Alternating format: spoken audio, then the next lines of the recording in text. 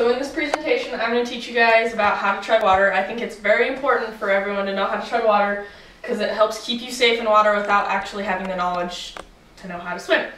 So imagine you're wading in a lake with your family and friends and some child's toy starts floating away where it gets too deep for them, but to you it only goes up to like your knees or your hips.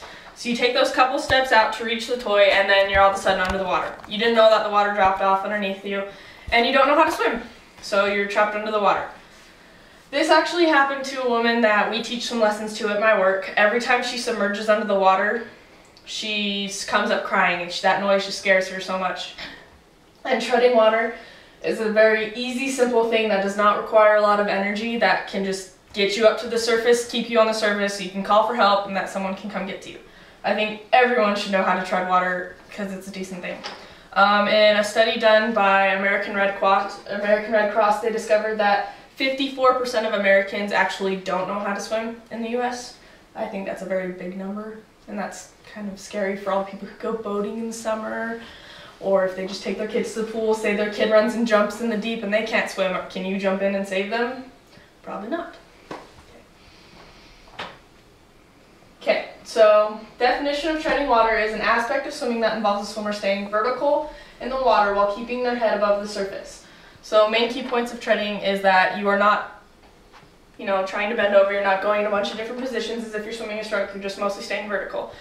And treading water makes it so you can stay on the surface, doesn't take a lot of movement, it's easy. Best things about treading water is it's easy once you get the hang of it, not hard to teach, it uses a little amount of energy, mostly anyone can do it, and you don't need to have knowledge of all the strokes to be able to tread water.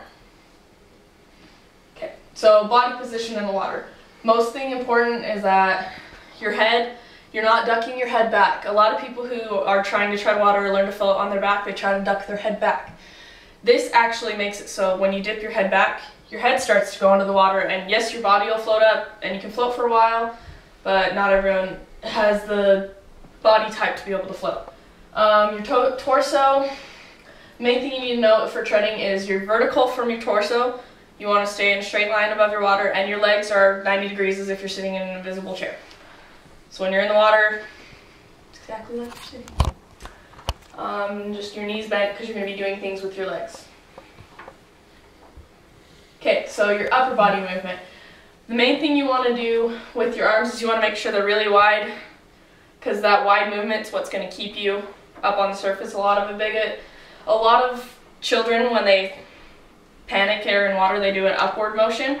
That pushing down on the water will get them above the surface, but when they lift their arms back up to do the push-up again, it brings them under the water. So then they just get more panicked. So that's why you want to go a side-to-side -side motion, because it will keep you on the surface the whole time, no bobbing motion in the water. So that's what SCULL is, it's that side-to-side -side wide motion. You want to have a cupped hand because you will get the most power and force generated through it. Because if you have an open hand, all the water slips through your fingers and you're not getting anywhere, you're not propelling anything, so your cupped hand will get you the most. And just that figure eight motion just kind of explains the SCULL where you go side to side and do a figure eight. Next thing is your lower body, so your legs. You're still sitting in that chair with your legs, they're bent. Your knees are where all your motion is going to be, your thighs don't really do much of the work, and then all the power comes from your feet and your shins. Egg beater motion is the main thing they call for treading. Um, it's the motion where your legs go counterclockwise and clockwise in an inward motion spinning at different times. It's kind of awkward to get it first because you're not used to doing this with your legs and it's an awkward motion, but once you get the hang of it, you can tread water without your arms because your legs are the most motion. So it's really easy to conserve energy. So I think treading water is a very important thing for everyone to learn. It doesn't require a lot of energy. You can stay on the surface easily.